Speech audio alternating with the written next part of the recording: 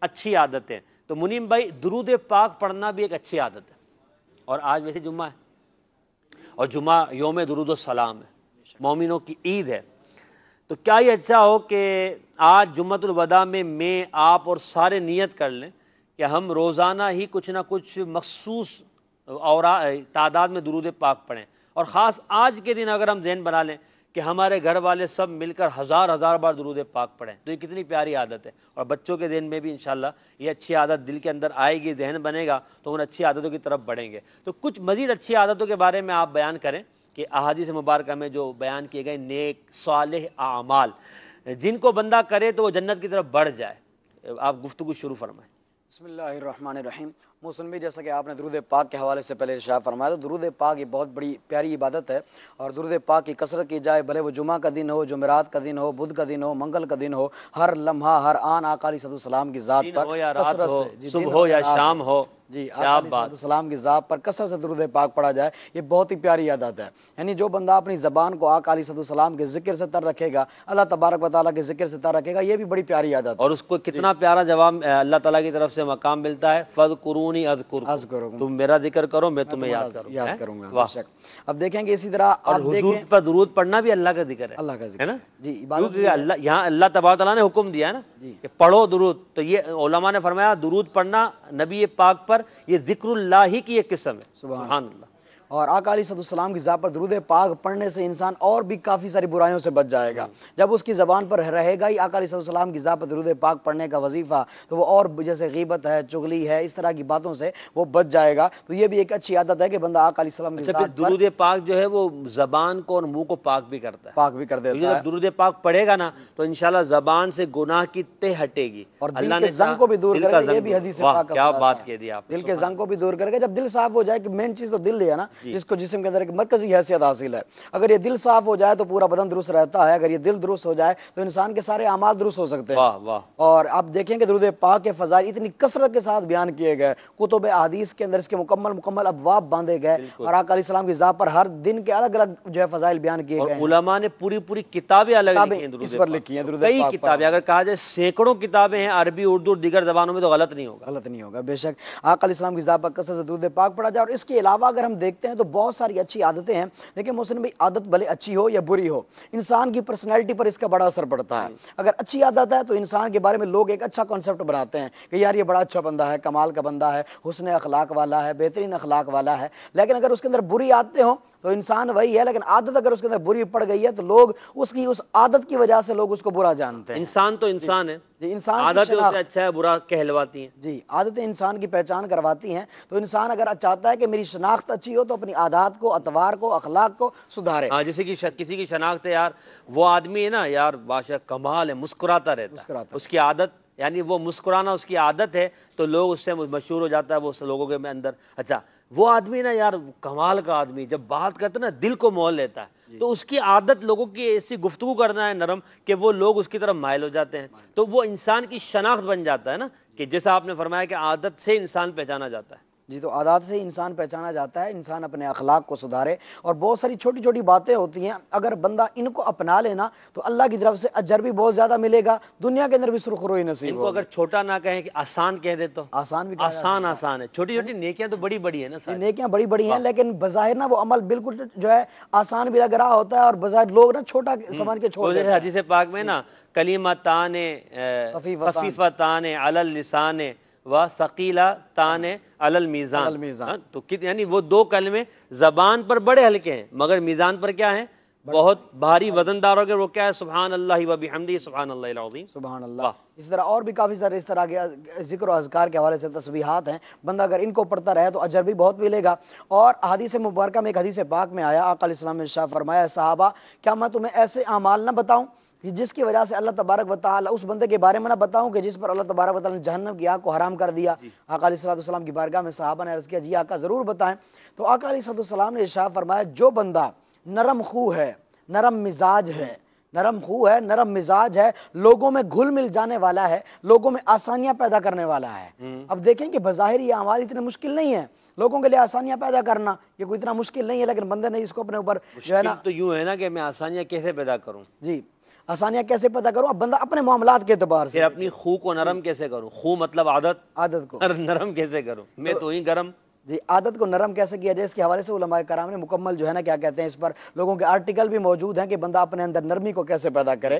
اور نرمی جو ہے نا ایک بہت اچھی چیز ہے۔ حدیث پاک میں اس کے بڑے فضائل بیان کیے گئے نرمی بھی ایک اچھی عادت ہے۔ اچھی عادت ہے۔ ہر وقت نرم رہے بندہ۔ نہیں ہر اس کے بھی تقاضے ہیں۔ اچھا، تقاضے تقاضے ہیں ہر جگہ نرم نہیں رہا جائے گا شریعت نے جہاں پر نرم رہنے کا حکم دیا ہے وہاں پر نرم رہا جائے گا۔ قرآن پاک کی آیت ہے نا وہ اشدہ علی الکفار ورحماء بینہم۔ سبحان اللہ۔ تو اب یہ جو ہے نا نرمی اپنے اندر بندہ رکھے اور لوگوں کے اندر گھل مل جانے والا ہو۔ ایسا نہیں کہ بس لوگوں کے اندر آئے تو لوگ کہیں کہ یار اب آگے سب کا موڈ خراب ہو جائے۔ گھر کے اندر آئے تو گھر والے اچھے بھلے ہنس کھیل کے خوش بیٹھے ہوں۔ جب یہ آئے تو ہر ایک کا موڈ بن جائے ہر بندہ اپنے کام میں گھل ملنے والا آپ نے کہا۔ گھل ملنے والے بھی دو طرح کے ہوتے ہیں۔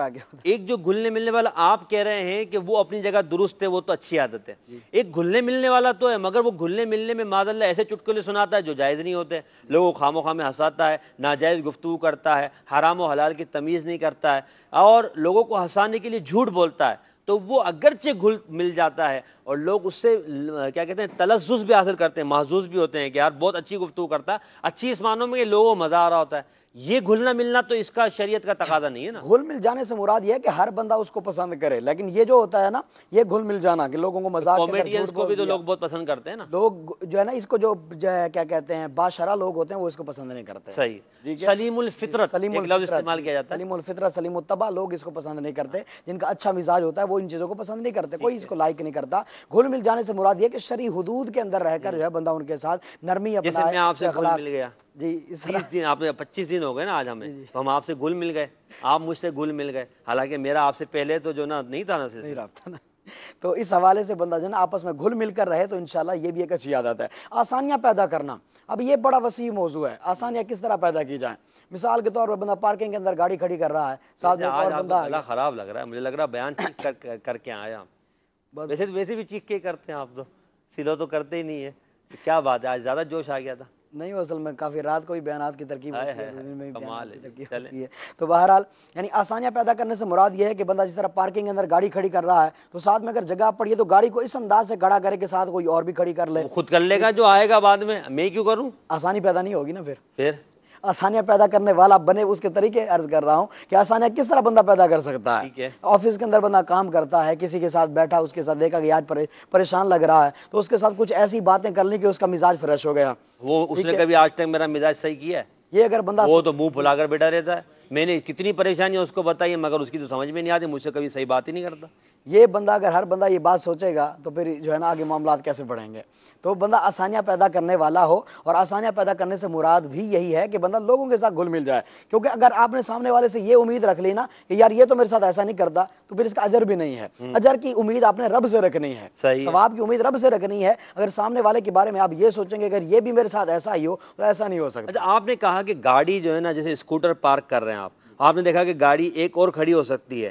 آپ اس کو ڈبل اسٹینڈ پہ کھڑی کریں گے تو اچھی برابر والے کو جگہ مل جائے گی۔ سنگل اسٹینڈ پہ کھڑی کریں گے تو برابر والے کو جگہ نہیں ملے گی آنے والا پریشان ہوگا۔ جی۔ تو آپ کہہ رہے ہیں کہ یہ بھی آسانی کرنے ایک اچھی عادت اچھی عادت اچھا اب مثال کے طور پر میں ڈبل اسٹینڈ پہ کھڑی نہیں کرتا سنگل اسٹینڈ پہ کھڑی کر کے چلا جاتا ہوں۔ اور سنگل اسٹینڈ پہ اس لیے کھڑی کر رہا ہوں کہ بھائی میری مرضی میں جگہ ہے تو یہ میں نے کیا برابر والے کی تنگی کی کیا؟ تنگی نہیں کی لیکن آسانی بھی تو پیدا نہیں کی نا۔ اچھا۔ تنگی بھی نہیں کی تو اس کو جو ہے کیا کہتے ہیں سہولت بھی تو نہیں دی۔ بندہ خود جس طرح اپنے لیے جو پسند کرتا ہے نا دوسرے کے لیے بھی یہی پسند کرے۔ بندہ خود اپنی گاڑی کھڑی کرنے کے لیے آیا نا تو دیکھتا ہے کہ اگر اس طرح اگر گاڑیاں کھڑی ہوئی نا تو بندہ یہ سوچتا ہے کہ یار اگر یہ اسٹینڈ پر کھڑی ہوتی تو میں آرام سے اپنی بائک کھڑی نہیں تو پھر اگر آپ جو ایسی بات کر رہے ہیں تو پھر ٹریفک کے معاملات میں اگر ہم دیکھیں تو اگر اسی فارمولے کو لیا جائے جو آپ فرما رہے ہیں تو مثال گاڑیوں کا رش ہے اور ہم دیکھ رہے ہیں کہ یار ایک گاڑی اگر آڑی تیڑی جائے گی تو جو نا وہ ٹریفک جام ہو جائے گا۔ اکثر ہوتا یہ کہ ٹریفک جام ایک کی وجہ سے ہوتا ہے نا۔ تو اب جو بائکس چلانے والے ہیں اگر وہ مسلمانوں پر آسانی کرنے کے لیے اپنی بائکس کو ایک لائن میں چلائیں جی۔ تو کیا یہ آسانی کرنا ہے؟ یہ بھی آسانی پیدا کرنا ہے۔ اور ٹریفک کے رول تو ویسے بھی نہیں توڑنے چاہیے کہ وہ شریعت سے ٹکراتے نہیں ہیں تو ان پر عمل کرنا بھی ضروری ہی ہوتا ہے۔ ٹھیک ہے۔ اور بالخصوص ٹریفک کے حوالے سے بھی اور بھی کافی سارے معاملات ہیں گھر کے اندر آفس کے اندر بندہ آسانیاں پیدا کرنے والا بنے لوگوں کا یہ ذہن بن جائے کہ یار یہ بندہ نا مشکل پیدا نہیں کرتا آسانی یسیرو ولا تعسرو قرآن حدیث پاک ہے نا؟ جی۔ آپ سے مزید انشاءاللہ اس پر گفتگو کرتا ہوں آسان نیکیاں اس پر ہم بات کریں اچھی عادتوں پر۔ حسنین بھائی یسرو ولا تعسرو آسانیاں پیدا کرو تنگیاں پیدا نہ کرو۔ بشیرو ولا تنفرو خوشخبریاں سناؤ نفرتیں نہ پھیلاؤ۔ اچھی عادتوں پہ ہم بات کر رہے ہیں، کچھ اچھی عادتیں آپ بھی بتائیں۔ اسی طرح کی روڈز پر کوئی اچھی عادت ہماری ہو جائے، کسی محفل میں جائے تو کوئی ہماری اچھی عادت ظاہر ہو جائے۔ جیسے آج ہم نے آپ کو سلسلے میں بلائی بھی اچھی عادت ہے۔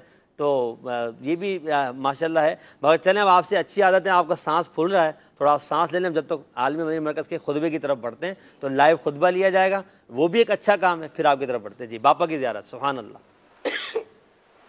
ومن سيئات أعمالنا من يهدي الله فلا مضل له ومن يضلله فلا هادي له.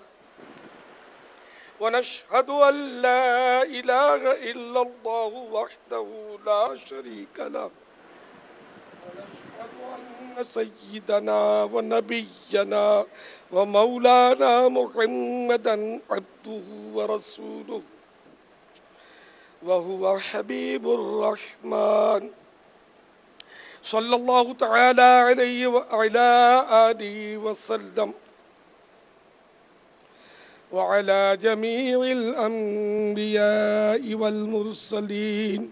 وعلى كل ملائكة. وعلى كل ملائكتك المقربين. وعلى عبادك الصالحين. صلاة ما تحب وترضى يا رحمن. أما بعد فيا أيها الثقلان من الإنس والجان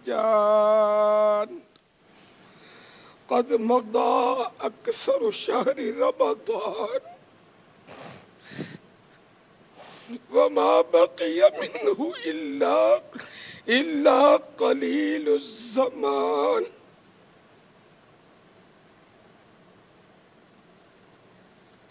شهر الرحمة والغفران.